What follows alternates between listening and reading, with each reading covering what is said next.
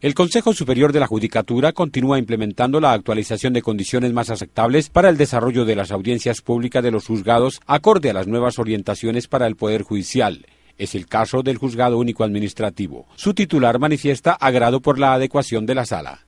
El Consejo de la Judicatura ya dotó una sala decorosa para realizar las audiencias que están previstas en el nuevo Código de Procedimiento Contencioso Administrativo que se lleva todos los procesos por el sistema oral y el sistema de audiencias. El jurista dijo que pese a ser pequeña la sala es adecuada para el trabajo del juzgado. Esta sala cuenta con los elementos básicos de acuerdo a los protagonistas de la audiencia.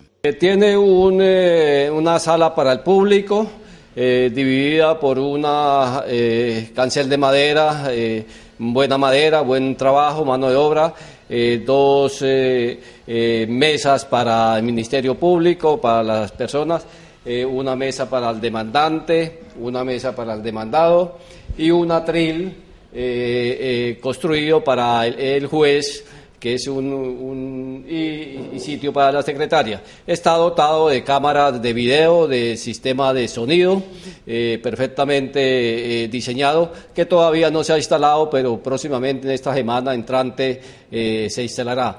El abogado certificó que en la sala ya se han desarrollado las respectivas audiencias, pese a que aún faltan algunos detalles complementarios para su definitivo acondicionamiento.